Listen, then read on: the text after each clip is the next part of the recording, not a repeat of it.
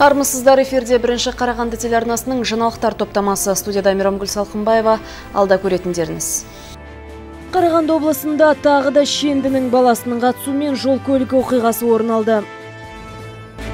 Шаһарымызда келер жылғыға жылу беру маусымына дайындық қалай жүріп жатыр? Мерейлі отбасы ұлттық байқауы облысымыздың барлық қалаларында өтті. Тағы да шендінің баласының қатысуымен жол көлік оқиғасы орын алды. Сағатына 180 километрмен келе жатқан Қазақстан Республикасының қаржы полициясы агенттігі төрағасының орынбасары Марат Шабақбаевтың қызы Алматы Астана тас жолында Нива автокөлігімен соқтығысты. Салдарынан екі адам жазым болды. Ажал құшқан Евгений Токмаковтың жақындары әдеттегідей қозғалған қылмыстық іс шенділердің мансабыменен жабылуынан қорқып отыр. Зардапшылар жол көлік оқиғасы болған күні Субару автокөлігі көлігінің тізгінінде 24 жастағы бойжеткеннің өзі болған дейді. Алайда тәртіп сақшылары бұл ақпаратты жоққа шығарып отыр. Мамырдың 8 күні болған апат орнын 2 сағат ішінде айнада етіп тазалап қойған.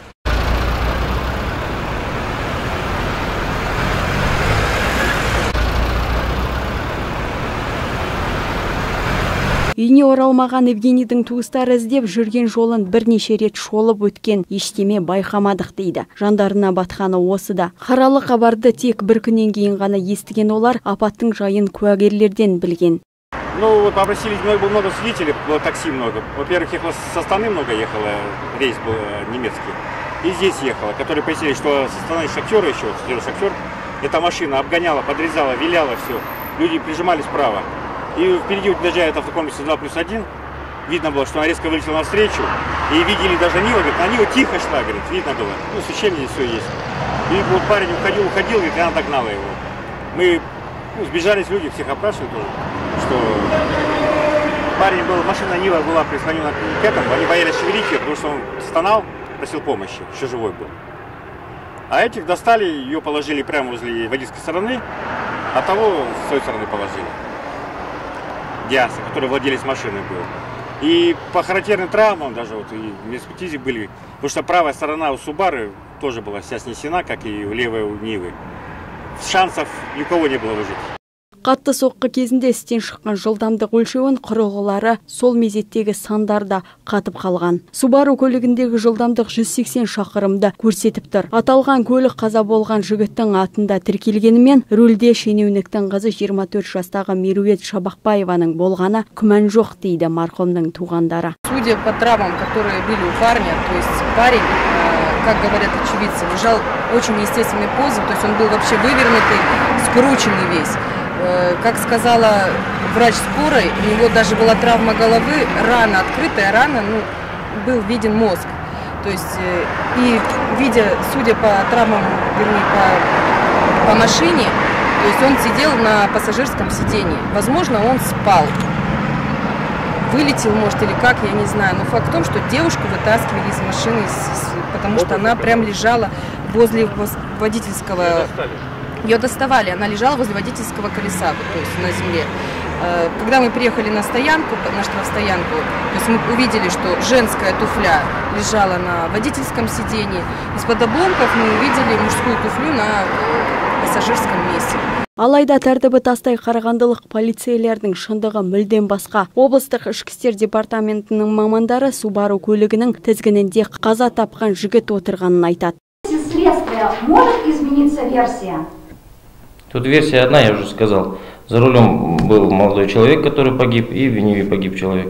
Девушка в качестве пассажира сидела.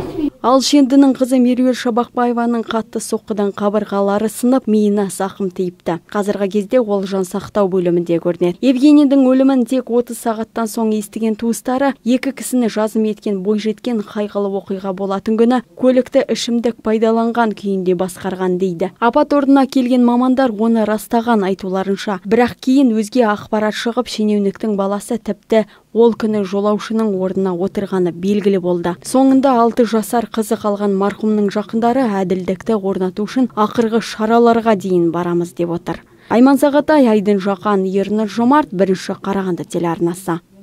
Жылу беру маусымы аяқталып, келесі кезеңге дайындық басталды. Қарағанды қалалық маслихатының 35-ші сессиясында шаһарымызға жылу беру маусымындағы атқарылған жұмыстар мен алдағы уақытқа дайындықты жүргізу барысы талқыланды. Алқалы жиынға қала әкімі, депутаттар, сала басшылары қатысты. Мамандардың айтуынша 2013-2014 жылғы жылу беру маусымында өткен жылдарға қарағанда техникалардың істен шығуы, жылу жүйесіндегі ақаулар азайған. Қалалық мәслихаттың кезекті 35 сессиясында жылу жүйесінде энергетиктер су және газбен жабдықтаушы мекемелерде жалпы қалыпты жұмыс жүргізілген. Бұл туралы депутаттарға қала әкімінің орынбасары өз сөзінде атап өтті. Қарағанды қаласындағы 2013-2014 жылдарға жылу маусымының қорытындысы. Қарағанды теплотранзит желі бойында 879 ақау тіркелсе, өткен жылмен салыстырғанда бұл көрсеткіш 314-ке аз. Қарағанды су желі бойында 883 ақау тіркеліп, өткен жылмен салыстырғанда 122-ге азайған. Қарағанды жарық биыл 251 рет бұзылған. Алайда өткен жылмен салыстырғанда 36-ға аз. Тұрақты газбен жабдықтау үнемі сақталатын қор 300-500 тонна ешқандай ақаулар тіркелмеген. Қала әкімшілігінің келісімі бойынша өмірлік қажетті нысандарды жабдықтау тұрғын үй қоры мен әлеуметтік мәдени тұрмыстық мекемелермен алдағы маусымға дайындық жұмыстарын жүргізу. Сондай ақ облыстық энергетика және тұрғын үй коммуналдық шаруашылығының келісімімен бұл мәселелер облыстық әкімшілікте шешілген. Мәдениет және білім нысандарындағы бар шаруа тамыз қыркүйек айларында тапсырылып жүз пайыз бірінші қыркүйекке дейін аяқталады. Депутаттар арасында жылда аталмыш істі қарауға уақытша комиссия құрылады. Олар қаламызда жылу маусымына дайындық барысын бақылайды. Іс басындағы мекемелермен бірге жүріп олардың артық кемін түзетуге ықпал жасайды. Ознакомлен с заключением временной комиссии. Важным и нерешенным уақытша комиссияның назарына алатын жағдай. Өте маңызды және шешілмей қалған қарағанды судың нөмірі оныншы кәріз коллекторын жөндеу мәселесі әлі тоқтап тұр. Сондықтан мүмкіндігінше нөмірі оныншы кәріз коллекторын жөндеуге қазынадан тиісті қаржы қарастырылу қажет. Сонымен қатар жылу желісінің құбырларын қаптайтын жабдықтардың ұрлануына байланысты шаралар қарастырылу керек. Ол үшін тиісті орындарға бейнекамера орнату қажет. Немесе қымбат мырыш материалдардың орнына арзан әрі сапалы құралдарды пайдалануға болады. Сессия барысында халық қалаулыларының шешімімен жергілікті биліктің алдағы жылу маусымына байланысты жүргізетін жұмыстары мен дайындығының есебі тыңдалып бекітілді. Депутаттардың шешімі бойынша тиісті мекемелерге атқаратын істерді анықтап берді. Депутаттардың ұсынысы қала айналасындағы шағын кенттерді жылумен жабдықтаудағы шаралардың жоспарын құру мемлекеттік ресурстарды бекіту және инвестициялық бағдарламалар жылу жүйесін модернизациялау бойынша есептеу құралдарын орнату тиісті арналарда иесіз қызмет көрсету инженерлік желілер бағдарламасын бірқалыпты жалғастыру газбен жабдықтау мекемесіндегі жұмыс істейтін құрылғыларды жөндеу мөлшерін белгілеу қаламызда коммуналдық апаттық жағдайда диспетчерлік қызмет көрсететін мүмкіндіктерін қарастыру білім мекемелеріндегі коммуналдық қызмет көрсету үлгісін күшейту және тағы факты ұрлықтың тез арада жолын кесу керек. Пәтер иелері кооперативі және тұрғындармен келелі түсіндіру шараларын өткізу қажет. Қажетті ақпаратты мәліметтер ғаламтор желісінде хабарлануы тиіс. Сонда әрбір тұтынушы өз үйінің бір шаршы метріне қанша жылу беріліп қанша қаржы төлейтінін біліп отырады. Құрметті көрермендер алда жарнамалы үзіліс көгілдір экраннан алыстамаңыздар. Жүргізушіге киім ұсынған эмилио ерлер киім салоны. Көрсетілім демеушісі галакси групп компаниясы. Алюгал галвин херкюль сауда белгілерімен Торговая марка Galvin представляет Эконом-серия профиль Галтек 53 серии. Эконом-система трехкамерных профилей монтажной шириной 53 мм представляет собой качественное и экономичное решение. Если вам нужны внутренние перегородки в магазин, офис, балкон или лоджию – это ваш профиль. Стандартная система «Профиль Галвин». Профиль Галвин 60 серии. Это система четырехкамерных профилей с монтажной шириной 60 мм. Идеально подходит для любого климата и региона. Система стандарт относится к классу А, а значит полностью соответствует современным требованиям качеству оконных и дверных профилей. А теперь новинка. Серия «Эксклюзив». Пятикамерный профиль Галвин 70 серии. Монтажная ширина 70 мм. 5 камер и наличие дополнительного паза для резинового уплотнителя значительно повышают тепло- и звукоизоляцию. Толщина лицевых стенок 3 мм. Помимо белого цвета, профиль Галвин выпускается в шести цветах. Золотой дуб, махагон, мореный дуб, темно-коричневый, орех и серый. Но и это еще не все. Имеются профили односторонней, внутренней и наружной ламинации всей цветовой линейки. Все профили торговой марки Galvin и Galtec не содержат свинца и на 100% соответствуют санитарно-эпидемическим нормам. Профиль Галвин. Морозостойкий, надежный, прочный. Ішкі істер министрлігі Бәрімбек Бейсенов атындағы Қарағанды Академиясының түлектері дипломдарын алып, қуанышты сәтке де жетті. Енді жас офицерлер өз мамандықтары бойынша еліміздің түкпір-түкпірінде қауіпсіздікті сақтауға атсалыспақ жүзден аса курсант сырттай оқып академияның дипломын алып шықты. Олар тек білімгер ғана емес бұл салада қызмет істеп жүрген тәжірибесі бар мамандар. Уақыт ағымына сай полицейлер де заманауи техниканы меңгеріп мамандықтарына сай білімді игеру қажет. Олардың білікті қызметкер болуы еліміздің қауіпсіздігі үшін де өте маңызды. Осынау білім ошағынан талай саңлақтар түлеп ұшып ел игілігіне қызмет жасауда дейді академия басшысының орынбасары.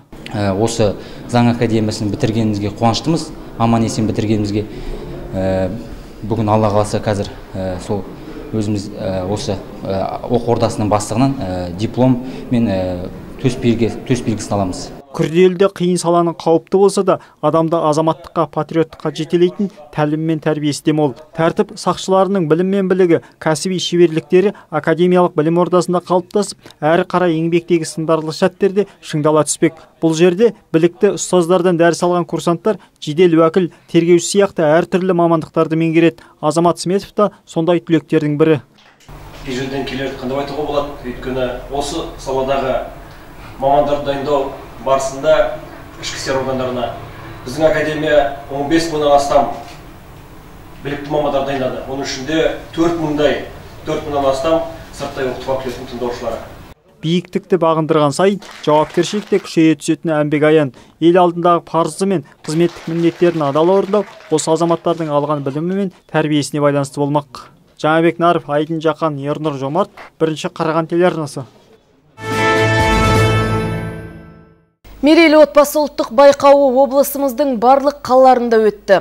Биылғы жылы сәтбаев шаһарының үлгілі ұстаздарының алты жанұясы сынға түсті. Қазақтың өнегесін той еткендер үш кезеңнен сүрінбей өтті. Мерейлі отбасы ұлттық байқауы өнегелі құндылықтарды жаңғыртуға және отбасы мен некенің жағымды үлгісін таратуға бағытталған. Жанұяның мәртебесін арттыруда сәтбаев қаласында биылғы жылы алты ұстаз қатысты. Өздерін таныстыру арқылы өнерлерінде ортаға салды. Барлық отбасыларына бүгінгі мерекеде ынтымақ бірлік береке тілеймін. Жүнісовтар отбасы аталмыш сайыстың бірінші орын жеңімпазы. Ұлсыйып келін түсіру әр адамның мақсаты. Ал қартайған шағында немере күтіп онымен ойнау әр ата әженің арманы болса керек. Жаста болса жүнісовтер өз балаларынан бөлек немере тәрбиесіне айналысып жатқан көрінеді. Көпті көрген ұстаз ана осындай байқау жастарға үлкен үлгі дегенді тіліне тиек етті. Шаралар біздің қаламызда көп болса деймін үлгілі отбасын анықтап әрқашанда жастарға үлгі өнеге болатындай отбасылар көп болып лайым жақсылықта болсын қаламыз. Байқауға барынша жанталасқан отбасы мүшелерінің ешқайсысы сыйлықтан құр қалмады заманауи шаңсорғыш телевизорға қол жеткізіп ең бастысы жүлдеге жеткендері облыстық мерейлі отбасына жолдама алып жатты. Гүлназия мирханқызы ернұр жомарт бірінші қарағанды телеарнасы. Дәл осы республикалық сайыс Приозерск қаласында да тартысты өтті. Қатысушылар қатары аз болса да таңдау қиынға соқты.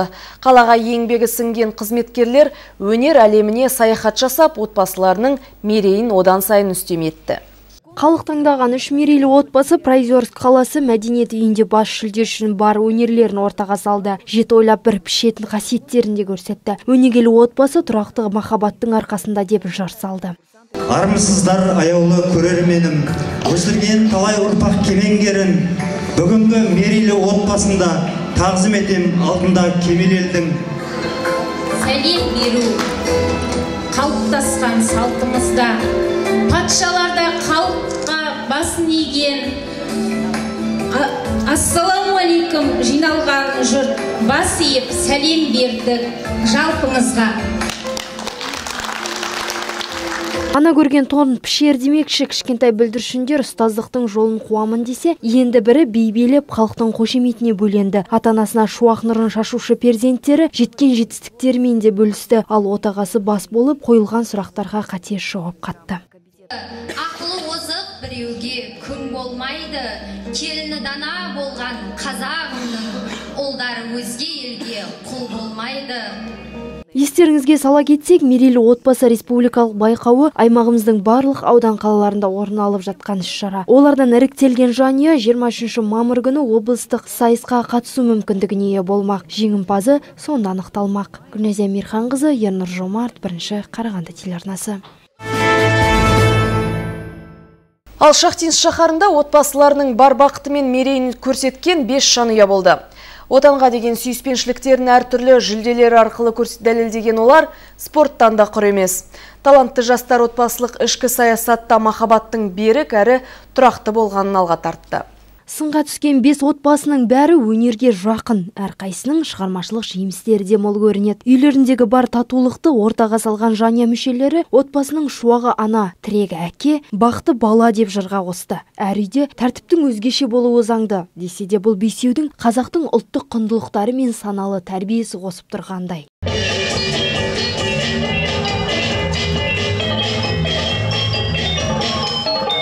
Отбасын таныстырып, таланттарын паш еткен соң жас аналар ас үйдегі шеберліктерін көрсете бастады. Бір қолымен бесік, бір қолымен әлемді тербеткен нәзік жандылар күні бойы тіпті саясатқа да араласатындарын дәлелдеді.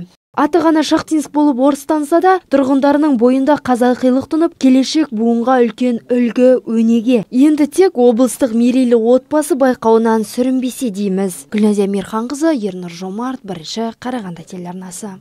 Қарағанды облысы алғаш рет жыл әдіскерін анықтауда. Төрт кезеңнен тұратын байқауға 24 педагог атсалысып, бүгінде оның 8 іріктеліп отыр. Бәйтерек балабақшасында өткен конкурстың екінші кезеңіне Астанадан әріптестері келіп, баға берді. На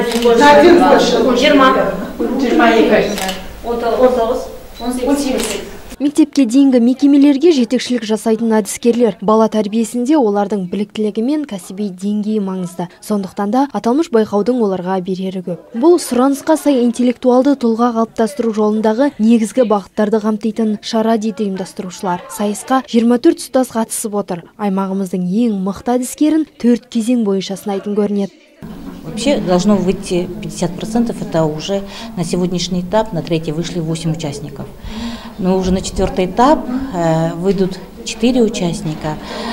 Оно пройдет, четвертый этап пройдет в форме круглого стола. Это дискуссия с привлечением педагогической общественности Карагандинской области.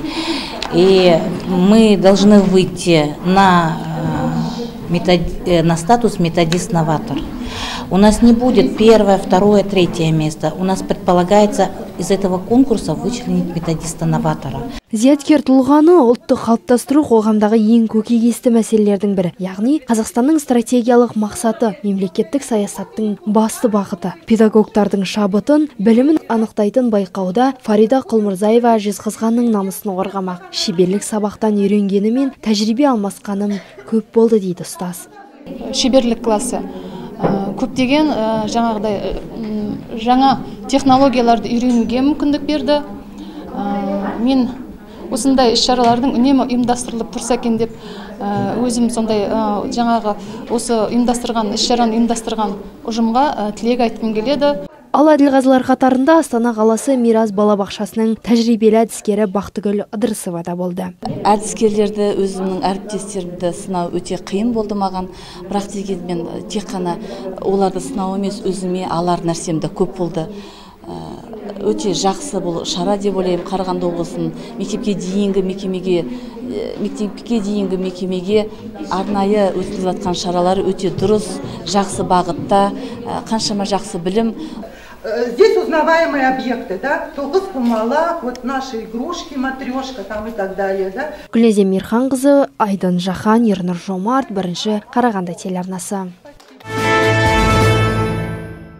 Арнамыздың тілшілері дайындаған жаңалықтар реті осындай болды. Егерде қандай да бір қызықты да маңызды ақпараттарыңыз болатын болса, біздің редакциямыздың нөмірі 42 06 49 екенін ұмытпаңыздар.